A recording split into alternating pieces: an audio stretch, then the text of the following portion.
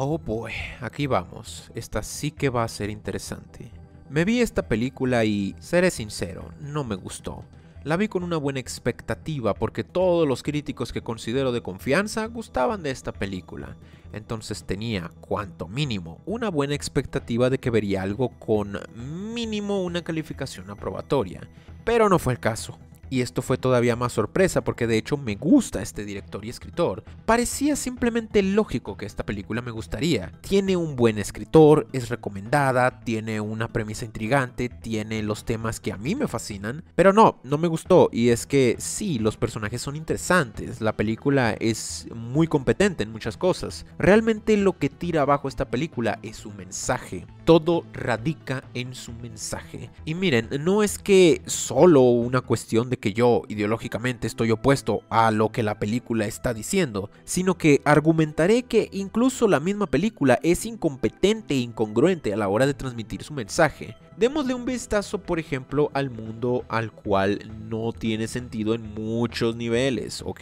Tienes esta sociedad en donde la eugenesia se ha vuelto el status quo, se ha vuelto el máximo criterio para el avance de la sociedad. Vamos, justo lo que Galton o Nikola Tesla deseaban. Tienes además esta sociedad estratificada entre genéticamente modificados y no genéticamente modificados. Tienes esta clase social gobernante que es genéticamente superior y luego tienes a nuestro protagonista que no es genéticamente modificado y que, como ya deben de saber, el punto es que pruebe que todo este sistema es una cagada. Primero que nada, simplemente me sorprende lo obvio en la incoherencia de tener una sociedad en donde lo físicamente superior y lo intelectualmente superior sean supuestamente premiados solo para que las demandas de este mundo no se ajusten a estos criterios. Tú miras el tipo de empleos de este universo y aún tienes a tus típicos oficinistas que están sedentarios la mayor parte del tiempo. Exactamente qué capacidades físicas necesitas para un empleo como este. Otro punto que no tiene sentido es el hecho de que si la eugenesia, bajo la premisa de esta película, producirá una clase gobernante súper inteligente y físicamente capaz,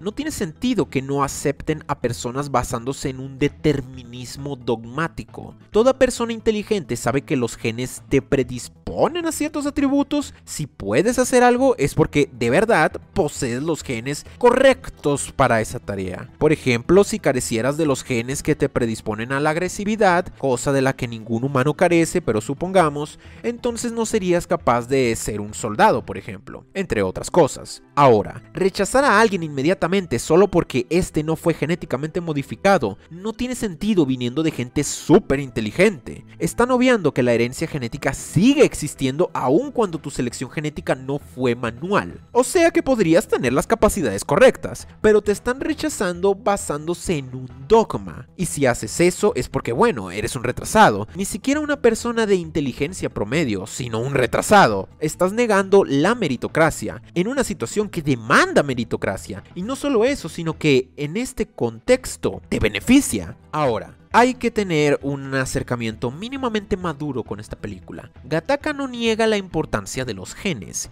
Claro que la película tiene en cuenta que hay genes que predisponen a la inteligencia, por ejemplo. En su lugar, lo que la película está haciendo es hacer este argumento de que la genética contribuye a una persona, pero no lo es todo. Hay causas ambientales o eventos de tu vida que afectarán en tu calidad como persona. Básicamente, es un argumento en contra del determinismo genético la creencia de que el comportamiento humano es controlado por los genes de un individuo. Pero no solo eso, sino que la película discute con un hombre de paja. Discute un determinismo biológico absurdista del cual realmente nadie cree. Por ejemplo, existe el gen MAOA, M-A-O-A, que determina, por ejemplo, tendencias al crimen o actitudes antisociales, y eso suena, vaya, como determinismo genético. La idea de que los genes rigen comportamientos sociales. La cosa es que esto no acaba aquí, la cosa es que los genes se activan uno puede tener dicho gen, pero si no lo expresa, uno no será propenso a una mierda. Los japoneses, por ejemplo, poseían este muy activo en tiempos pasados y la criminalidad de ellos era bastante alta.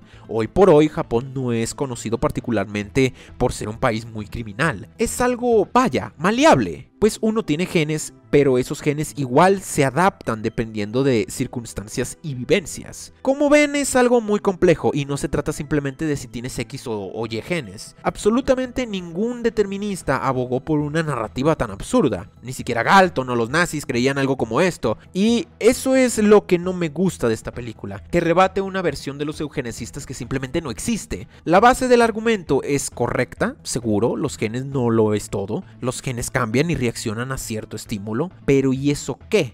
Quiero decir, el gen no lo es todo, pero ¿por qué no asegurar los mejores genes de todos modos? Simplemente no veo por qué lo primero contradice lo segundo. Básicamente la película es sobre el espíritu humano. El espíritu destruirá las barreras físicas y biológicas. La sociología y la filosofía derrotarán a la biología y a las ciencias exactas. Lo cual no solo es genial, sino que pienso que es verdad hasta cierto punto, y es algo que yo también creo. Simplemente no pienso que sea verdad al grado en que lo pinta la película, haciendo que un hermano derrote a otro en natación, ignorando todas las limitaciones mentales y físicas que eso conlleva. Realmente me molesta esta mierda de si lo desea lo suficientemente lo logrará. No, es más bien una cuestión de cambiar tu mentalidad, de pensar de otra manera, conseguir ventaja aprovechándote del ambiente y las herramientas disponibles, de rodearte de la gente correcta. Y es con esto con lo que romperás las barreras biológicas. Es así como tú, alguien inferior intelectualmente, por ejemplo, podría derrotar a alguien superior intelectualmente. Pero es que incluso para llegar a la conclusión a la que llegué necesitas cierto cerebro. Así que sí, puedes sobrepasar esas barreras, pero hasta cierto punto. Sigue existiendo un límite. Lo que acabo de decir simplemente no se le hubiera ocurrido a alguien con un literal retraso mental. Tampoco seamos tan fantasiosos, vaya. No es una cuestión de solo por quererlo poder mover una montaña con tus manos, no. El segundo argumento que la película hace es que, mientras que las enfermedades genéticas traen sufrimiento, también lo hace la intolerancia. A lo que yo respondo que lo siento, pero nacer con piel de cristal sí es mucho más doloroso que ser discriminado en una entrevista de trabajo. El argumento es muy estúpido porque implica que las políticas eugenésicas, por default, se supone que traigan una sociedad estratificada. Pero es que, ¿de dónde coño sale esta conclusión en primer lugar? ¿Y por qué una sociedad estratificada sería algo malo en, todo contexto? La película falla en mostrarme el, el cómo llegó a su conclusión. No me mostró cómo una sociedad estratificada es algo malo en un gran margen y no para uno o dos individuos. Nunca me mostró cómo la conclusión lógica de la eugenesia sería una distopía tecnológica estratificada basada en, en, el más dogmático determinismo genético. Diría que incluso lo que muestra contradice lo que trata de transmitir. De hecho, basándonos en lo que la película nos mostró, el protagonista es perfecto para la premisa de este mundo. El protagonista fue competente. No gana porque su espíritu superó las barreras biológicas, no, gana porque tiene buenas cualidades que son heredables. Durante toda la película fue calculador, fue paciente, se negó la gratificación inmediata, fue inteligente, supo cómo jugar sus cartas y cómo hablar. Y todo esto, damas y caballeros, mientras que puede ser aprendido hasta cierto punto, es que igual tiene una base genética. Todo esto también viene de tus genes. Por más que le enseñes a cantar con vocales a un perro, no podrás porque no tiene la capacidad biológica para hacerlo. Pero tú sí. Será verdad que si tú hubieras vivido en otra parte, hoy serías una persona distinta. Pero también eres la persona que eres por tus genes. Y es que este es el caso con el protagonista vivió una situación, pero tuvo la madera para reaccionar de cierta forma ante esta situación, y tuvo la madera para ser un oponente formidable. Quizá voy a sonar algo racista, como lo diré, pero hubiera podido un aborigen australoide, el cual nunca pasó por un muy largo proceso evolutivo de ser metódico por su ambiente y cualidades para la supervivencia que nunca lo demandaron. O sea, ser igualmente capaz de haber logrado lo que logró Vincent, solo porque este realmente lo quiere. Y mira, sí, él bien puede tener otras cualidades que no tiene Vincent. A lo que voy es que, al final del día, si la corporación en Gataka no te deja ser un astronauta por una muestra de ADN, no es muy diferente de la NASA rechazándote por tener problemas respiratorios, o de un equipo de baloncesto rechazándote por estar chiquito y no polel. Y luego está el argumento moral en la película. Tengo un podcast en donde defiendo el primitivo programa de eugenesia en Esparta desde un punto de vista moral, pero saben, atacar la eugenesia desde un punto de vista moral y ético tiene incluso menos sentido en un escenario futurista y realmente no es comparable siquiera con ese ejemplo de Esparta. La eugenesia dejó de necesitar asesinato y muerte desde el siglo XVIII y desde entonces la eugenesia desde hace mucho tiempo dejó de requerir la esterilización como algo necesario igualmente. Y coño, que estoy hablando de tiempos de la película también. Ya para los 90 ya se sabía que el futuro de la eugenesia sería modificación en vitro, algo que ni siquiera concierne con un ser vivo formado. Realmente no hay ningún argumento sensato para que yo llegue como científico, te ofrezca eliminar todas las enfermedades hereditarias de tu futuro hijo y que tú te niegues. Basado solo en los eventos de la película y no solo en lo que la película te dice, esta es la película más pro eugenesia y pro estado que existe. Y esto no es mejor ejemplificado que con la decisión de los padres del protagonista. La moral de la película está al revés. La pareja decide que su primer hijo no estaría modificado genéticamente. A causa de esto, cuando nace, se estima que el hijo tendrá una esperanza de vida muy corta. Los padres se enojan por esto y deciden que su segundo hijo sí será modificado genéticamente. Seguro, el protagonista sobrevive la mortalidad que le habían estimado porque, bueno, así es la estadística. Es una posibilidad, pero ese no es el punto. Lo que me molesta es que la película pone como malvado el hecho de que los padres se enojen y se decepcionen, y no el hecho de que no hayan modificado al niño en primer lugar. ¿Por qué esto está al revés? Porque uno como animal biológico busca la maximización de los genes propios, busca la supervivencia de la continuación genética de nuestra descendencia. Que los padres se enojen y entristezcan de que su hijo tenga una esperanza de vida de mierda es completamente entendible desde un punto de vista natural. El padre está moralmente obligado a asegurarse de la supervivencia de su hijo. Imagina, por ejemplo, que vinieras de una larga línea de cáncer familiar, ¿por qué carajos te negarías a que tu hijo sea modificado para nunca tener la posibilidad de poder sufrir esta horrible enfermedad que es muy posible que herede? En este caso, los padres favorecieron el status quo de lo que ellos perciben como naturaleza, la selección natural sin intervención humana, no por un juicio racional, sino como un dogma. Hay muy buenas razones para defender el status quo en muchas instancias, pero hacerlo por hacerlo no es racional. Por ende, el argumento de que no deberíamos alterar la naturaleza, que la naturaleza debe hacer como se le plazca y que estamos perdiendo nuestra humanidad cuando lo hacemos, no está basado en ningún argumento racional. Es simplemente una enorme serie de asunciones. A esto yo respondo que la humanidad ayudando a la naturaleza a seguir mejorando es lo natural,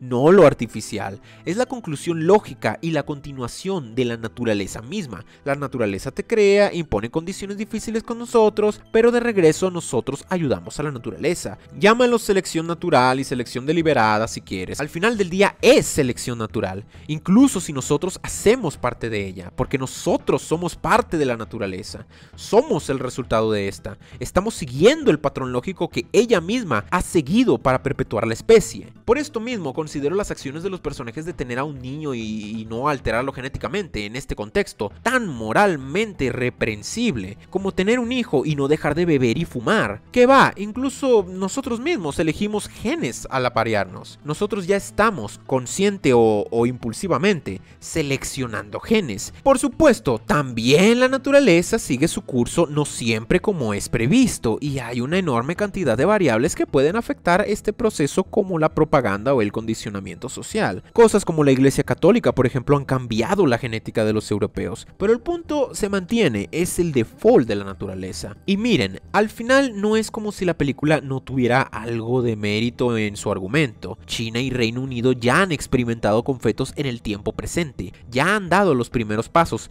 para la modificación genética. Y sí, es verdad que con nuestra moralidad actual y los intereses de las superpotencias, esto da de qué pensar. Es verdad que la eugenesia irresponsable, como toda la ciencia y tecnología irresponsables, pueden meternos en problemas, problemas incluso irreversibles. Trata de revertir el armamento nuclear mundial ahora, por ejemplo. Simplemente no se puede, es un cambio que nos ha marcado probablemente para siempre. De lo que estoy en contra es del argumento de que la eugenesia en general no es ética, es inmoral, no es deseable, nos llevará a condiciones irreales y irrisibles, y peor, que es lo que significa sufrimiento, más que toda la disgenesia que ya estamos viviendo. Gataka pese a su fama de revolucionaria en cuanto a su discurso, lo cierto es que no, es el discurso cultural y político mainstream que ha sido durante las últimas décadas. No es una película contra el establecimiento, es el establecimiento y refuerza una narrativa igualitarista sumamente ignorante y anticientífica. Debería aclarar que al final sí me parece una película muy competente en todo lo demás, la cinematografía, las actuaciones, la producción y también me gustó todo este tema de la presión social, ¿no? De que algunos personajes incluso quieran morir a vivir bajo las expectativas de ser un humano perfecto y quizá poder fallar. Me parece que esta es una preocupación legítima. En la vida real sí existen estos seres bellos, inteligentes, atléticos y que todo mundo ama. Técnicamente lo que uno consideraría el pique de la superioridad genética. Talentosos, carismáticos, fuertes, bla bla bla. E incluso ellos pueden tener problemas como estos. Una terrible ansiedad por tener tanto peso sobre los hombros. Por siempre aparentar una imagen y no